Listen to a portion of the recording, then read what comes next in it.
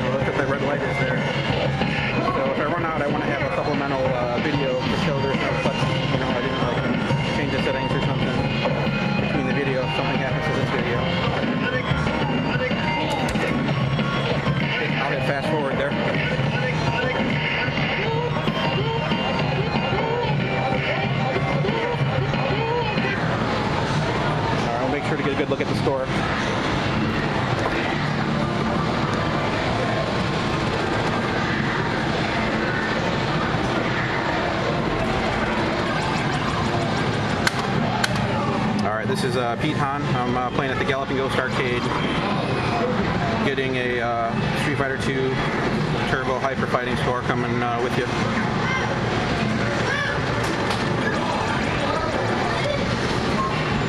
All right, I got two cameras going now.